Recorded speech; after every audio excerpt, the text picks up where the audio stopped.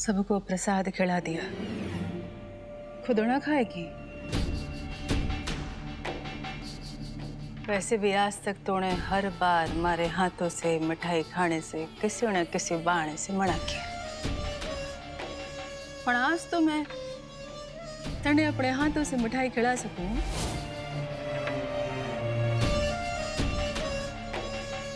गणेश जी का प्रसाद जो है आज थोड़ी ना मना करेगी।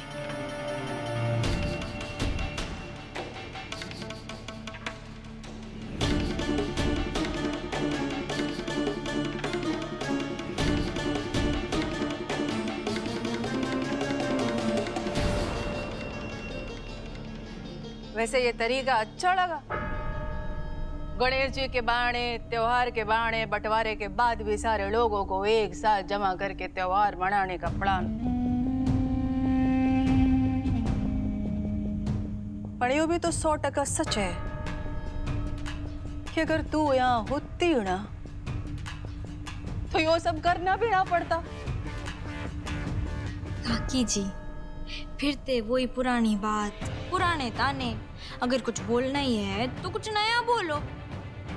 कुछ झन्नाटेदार मज़ेदार थोड़ा मज़ा तो है चलो करती हूँ फिर नई बात। एकदम झन्नाटेदार मज़ेदार। आज तू और नीलू मिल के एक कंपटीशन क्यों नहीं करते? तीस मिनट में एक सौ एक लड्डू बनाने का।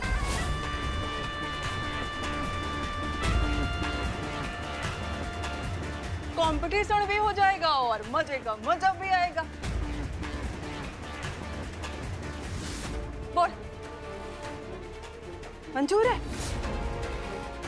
अगर बखत पे तूने 101 लड्डू बना दिए तो हम सब लोग मिलके गणपति जी की पूजा एक साथ करेंगे।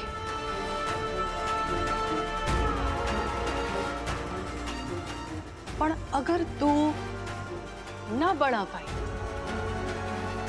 तो तू आज साँझ की आरती में सम्मिलित ना होगी।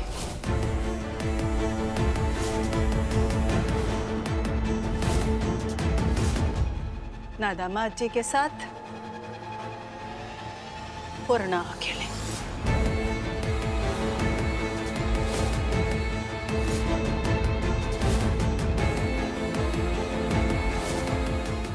बोल है मंजूर।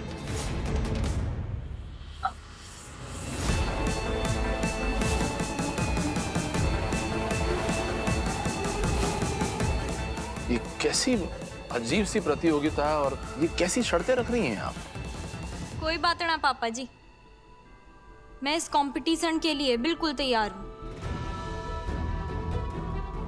ये जो पल है ना जहाँ हम सब एक साथ हैं इसके लिए तो पूरी जी जान लगा दूँगी मैं। मन ने मंजूर है।